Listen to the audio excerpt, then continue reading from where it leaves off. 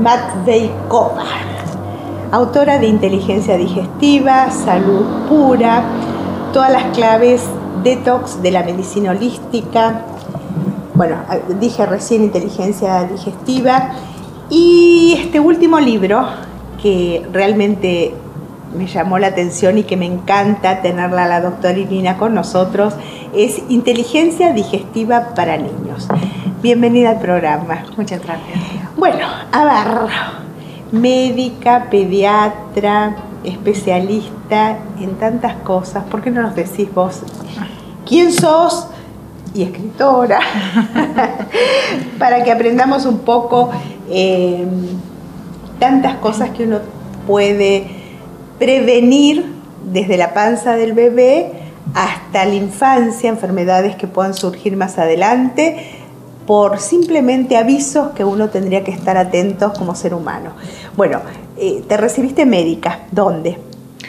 Yo soy médico colegiado y de España, soy médico de familia y especializado en endocrinología y nutrición. Empecé a trabajar como endocrino o endocrinólogo y después mi pasión desde infancia son terapias naturales, complementarias. Entonces llevaba en paralelo medicina clásica y aprender sobre medicinas eh, alternativas o complementarias más bien, lo que me daba tiempo. Y después he visto que tratando pacientes de endocrinología como diabetes, problemas de tiroides, me estancaba mucho porque no funcionó. Tratamiento, dietas, era como más, más de lo mismo. Empecé a investigar y aprendí que cualquier medicamento, cualquier alimento, cualquier intención que, es en mayor grado depende de nuestro sistema digestivo, si lo absorbemos, si lo asimilamos, en qué forma. Y me apasioné con temas del sistema digestivo y empecé a estudiar. He hecho unos estudios extensos en gastroenterología, en, todo lo que es eh, aparato digestivo y sigo porque ah, de repente este sistema y esta ciencia ahora es número uno en el mundo porque descubrimos que hay bacterias, descubrimos que hay segundo cerebro, descubrimos que en nuestra panza o nuestra tripa, como dicen en España, hay mucho potencial, mucho potencial para felicidad, para equilibrio.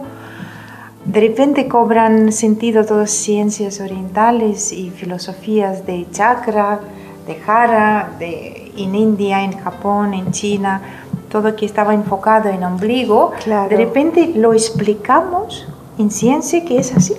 Es un lugar muy importante. Este, este, dicho somos lo que comemos y somos lo que sentimos, porque las emociones, especialmente las mujeres, no sé si los hombres, las sentimos en nuestro plexo o en el estómago. Y todo lo que nos tragamos, incluso las emociones, eh, tienen que ver con nuestro estado de salud. Así que qué bueno que encontraste esta beta hermosísima de seguir creciendo, ¿no? Como médico en, tu en distintas especialidades.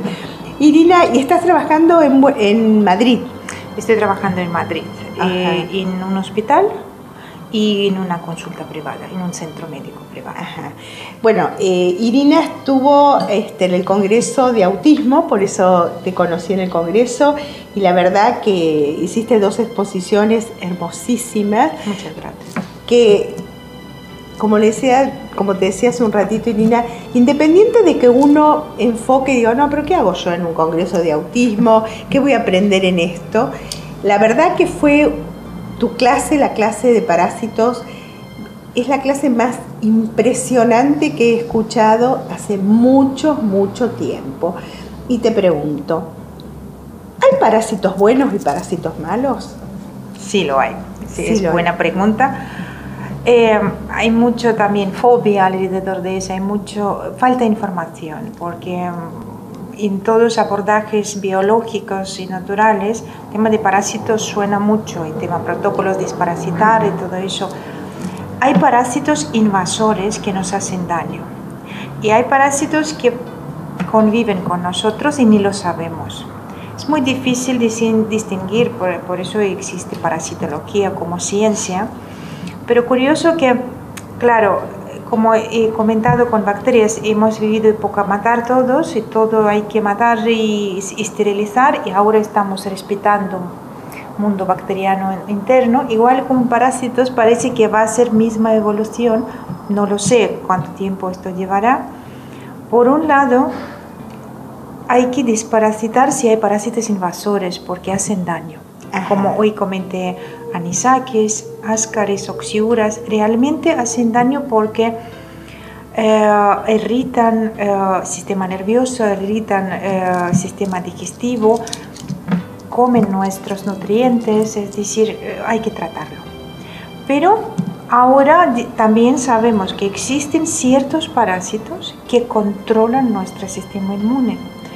Y existen ciertos parásitos que nos ayudan a prevenir enfermedades autoinmunes y inflamación.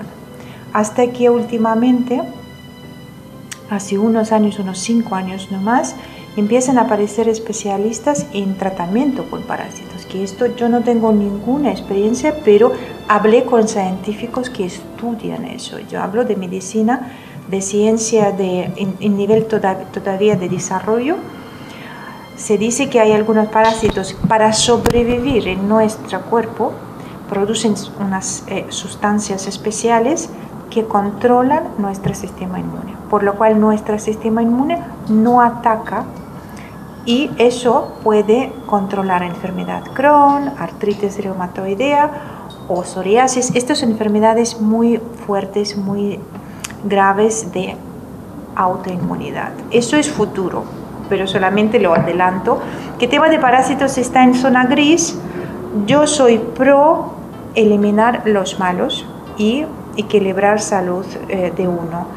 Y estoy aprendiendo que parece que van a aparecer los buenos y no, no vamos a matar todos, vamos a ser más selectivos bueno, es cierto que en la antigüedad las comadronas o las señoras de campo eh, tenían distintas sustancias, distintos, no sustancias, alimentos. Me acuerdo que yo soy de la provincia, entonces eh, había una señora que hacía eh, la semilla del zapallo. Claro, claro, muy, muy. la molía y le daba a los niños la semilla del zapallo. Muy bueno, muy bueno. Porque era una forma de este, limpiar o que no se pongan nerviosos los niños. Ahora, esto es buenísimo lo que acabas de decir, porque nunca le damos importancia.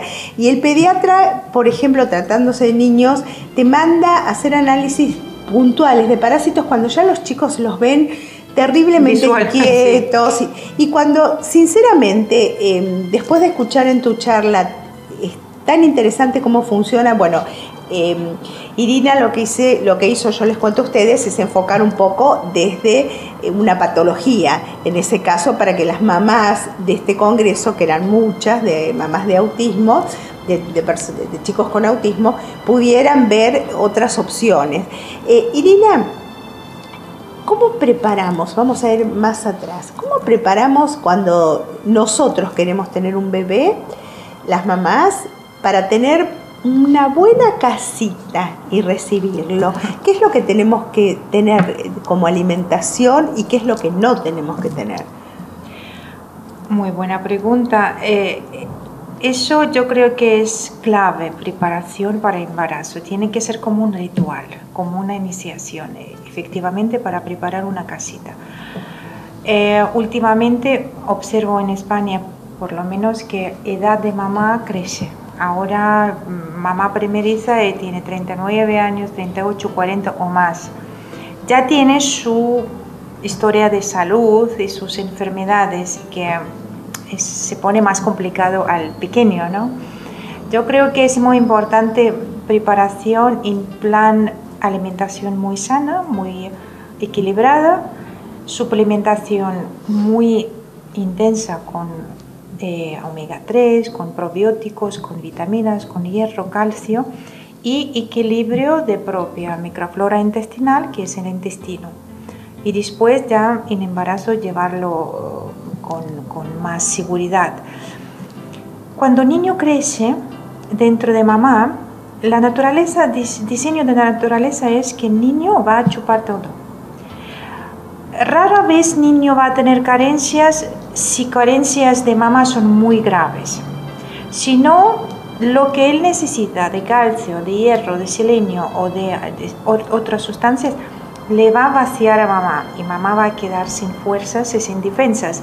Y mamá es portador de defensas también para niño.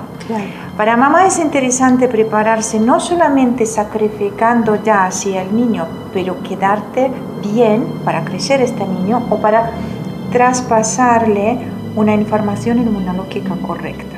Por eso preparación es imprescindible. Y ahora voy a contar nuevos estudios que suenan como ciencia ficción, pero también es verdad. Eso discutimos en congresos médicos, que descubrimos que, como comenté ayer, el sistema inmune de defensas de niño empiezan con primer toque con este mundo. Si va por parto natural, que es un parto normal, el niño se nace envuelto en mucosidad en bacterias de mamá por canal vaginal. Eso es mejor regalo que puede recibir el niño. No es glamoroso, pero es mejor regalo. Estas bacterias, esta, este material, material sucio, pero no lo es, van a tapizar al niño por dentro por fuera y le van a iniciar un proceso de formación de sus defensas a través de estas bacterias. Entonces mamá tiene que regalar algo bueno. Mamá con patología digestiva, con muchos problemas intestinales, con muchos problemas ginecológicos, puede regalar algo más agresivo, más dañino, más, que va a tener efecto abrasivo sobre su piel y sus mucosas. Lo que hemos descubierto hace poco, que las bacterias de mamá actúan de manera muy, muy, muy rara. Eh, obviamente hablamos que bacterias comunican entre ellos, es un Facebook más perfecto de lo que existe. Comunican, tienen una forma de señalar y, y, y recibir información que está pasando. Somos muchos, somos pocos. Atacamos, no atacamos. Nos migramos no nos migramos. Una bacteria sola no actúa nunca. Tienen una eh, en familia. Es impresionante. Un video que han hecho en Australia que se llama Life on Us, Vida sobre nosotros, que justamente en, en microvideos demuestran cómo, comunican las bacterias. Último trimestre del embarazo, las bacterias saben que van a migrar. Es, es impresionante, nos reímos entre los médicos porque, claro, no podemos nos resulta divertido pronunciar esto, pero así lo, lo, lo que estudiamos madre en los primeros tres meses de embarazo y descubrimos que de manera natural las bacterias que viven en el intestino de mamá lo hacen más permeable. Provocan para que el intestino de mamá se, se pone más poroso, más con brechas, de manera fisiológica, sin hacer daño. Pero mamá normalmente tiene más problemas de tránsito intestinal, está más hinchada, porque bacterias, y son bacterias buenas, que viven dentro de mamá toda su vida, pero no sé cómo saben que bebé va a nacerse pronto. Porque hacen permeabilidad intestinal que lo, lo podemos medir como médicos. Y sabemos que sí, esto se sucede. Después, cuando el intestino se pone más permeable, viajan por lo menos 500 bacterias más importantes que el bebé va a necesitar, viajan a conductos mamarios y están preparados. Del bebé, a los, a los, de, mamá. A los de mamá. Ah, Entonces, cuando empieza la. compensar. Qué, increíble. Es impresionante. Nosotros, y, no es, es, es, pura ciencia que estamos. Entonces descubrimos que primera porciones de la leche materna tiene 500 bacterias, las mejores y mejor selectas que mamá tiene en su intestino, pero son buenas, por eso no son infección, pero es algo que pequeño va a recibir para empezar con para toda la vida. Para toda la vida. Para toda la vida. Es decir, esto es inteligencia bacteriana. De hecho, esto es nombre de mi cuarto libro que estoy escribiendo. Ay, no, no, acabas de decir algo que me maravilla. Porque y, lo, lo, comprobamos con estudios por imagen, por laboratorio y no podemos no, aceptarlo. Así lo es. Ahora, fíjate que de alguna manera los psicólogos, los psiquiatras hablaron hace muchos años de esta energía amorosa que tenemos que tener cuando un niño va al mundo y, y las las contras que hay cuando hay una cesárea. Y cesárea, tema de lactancia. Y esa moda que, que, hubo de no dar de mamar y qué sé yo, ahora de vuelta, qué, qué maravilla. ahora tiene explicación. Qué maravilla. Quiere decir que la responsabilidad nuestra para traer un niño al mundo es muy grande. Y no, es, no hay que hacerlo así tipo deporte. realmente... Y no mientras tanto. Sí, realmente si queremos un mundo mejor, ¿no? Ahora vamos, no quiero que se me pase el tiempo. y te quiero preguntar, inteligencia digestiva para niños. Que esto debe ser, yo no lo leí, les aclaro porque recién lo tengo en mis manos. Eh, una maravilla, porque nos va a enseñar a las mamás, a, yo, a, mí que soy abuela, eh, poder comer de otra manera alimentarme de otra manera. Contame de qué se trata el libro. Eh, el libro empieza con preparación de embarazo, sobre embarazo, lactancia y primeros años de crecimiento del, bebé. ¿Qué le puede pasar? ¿Cómo interpretar? Porque el niño, el pequeño no puede decir que le molesta. Y cómo escuchar eh, síntomas del bebé, cómo interpretarlo y cómo tratarlo sin pánico y sin, sin cada cinco días eh, yendo al, al pediatra. Cómo, mm, cómo tratar temas respiratorios, cómo nutrir, cómo identificar intolerancias si hay, cómo ayudarle. Lo bonito es que el niño primeros tres años está formando su sistema inmune, su relación con el mundo exterior, está desarrollando su cerebro. Podemos preprogramarlo, podemos moldear y podemos proporcionarle nutrientes y, alimentos buenos. Y ahí doy ejemplos de nutrientes, de alimentos, siempre con enfoque que los padres tienen que ser ejemplo. Cuando padre y madre comen mal y comen deprisa y comen lo que sea y creen que niños, no, niños tienen que comer bien, niños absorben todo, son eh, copia nuestra. Sí. Por lo cual es, es una responsabilidad, como has dicho tú, de cambiar todo, todo clima en, en la familia y, y, ser más consciente en propia alimentación.